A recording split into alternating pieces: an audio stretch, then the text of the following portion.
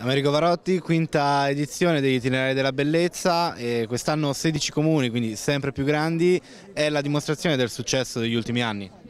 Sì, ehm, successo determinato dall'aumento delle presenze turistiche, dei visitatori nei musei, nelle rocche che gestiamo e di una grande capacità di promuovere il territorio eh, a livello nazionale e internazionale.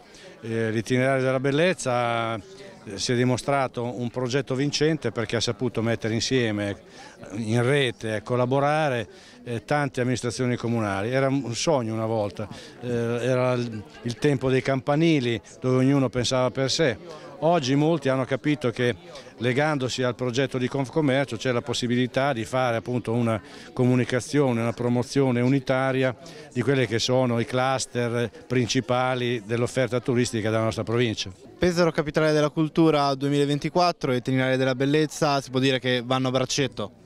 Assolutamente sì, perché eh, Capitale Italiana della Cultura 2024 vuol dire che già da adesso dobbiamo essere capaci di utilizzare questo brand per promuovere il nostro territorio, tutto.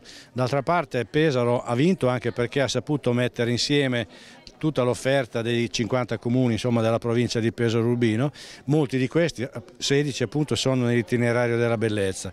E per questo noi abbiamo anche deciso di organizzare degli eventi, due in maniera particolare a Bergamo e a Verona nel mese di settembre dove parteciperemo con dei nostri stand alle fiere turistiche ma organizziamo anche degli eventi legati appunto a Pesaro eh, capitale della cultura insieme al comune di Bergamo e insieme all'organizzazione del VTE di Verona che è la, è la fiera eh, delle città UNESCO.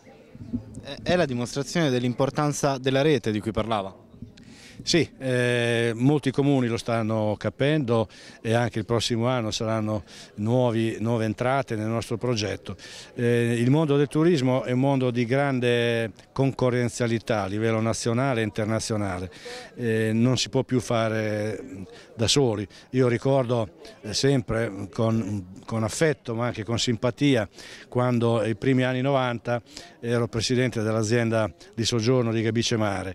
E, appena nominato gli albergatori mi dissero che dovevamo andare alla Fiera di Berlino, alla Fiera del Turismo di Berlino e io acerbo insomma di queste cose presi una, una, uno stand alla Fiera di Berlino, mi ritrovai vicino al Brasile.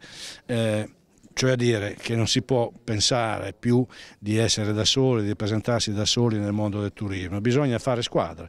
Noi siamo riusciti a farla e devo ringraziare eh, i comuni che hanno dato fiducia al lavoro che stiamo svolgendo, a tutti i collaboratori, il personale di Confcommercio e anche degli enti che ci aiutano, insomma, no? dalla Camera di Commercio al gruppo ERA, Riviera Banca e agli enti bilaterali.